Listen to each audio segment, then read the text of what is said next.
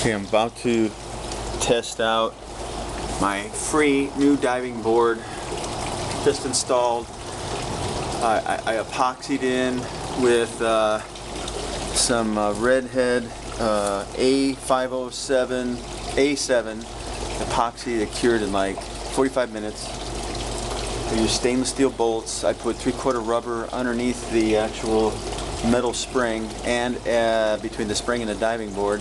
This diving board is about, I'd say at least 35 years old. It's an eight footer, dual beam, and we're gonna do our first cannonball. Here we go.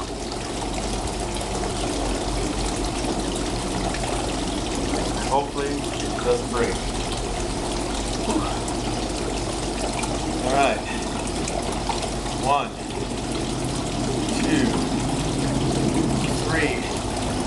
Cannonball! Whew. Seem to be pretty good.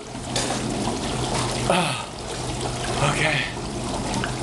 Not so good on the knees, but not too bad. Whew. We'll do one more regular dive. Alright, here we go.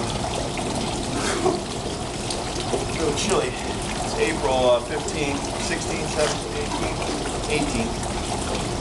Okay. Standard dive. Standard dive.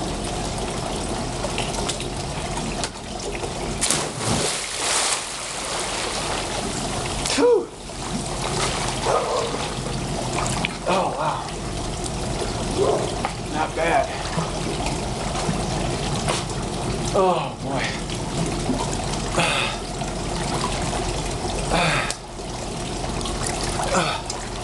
Anyway, that will terminate our demonstration. I think the board is going to be great. I got it from some house that I just did a rental contract on. They had it sitting on the side of the house. They took it out years ago for liability.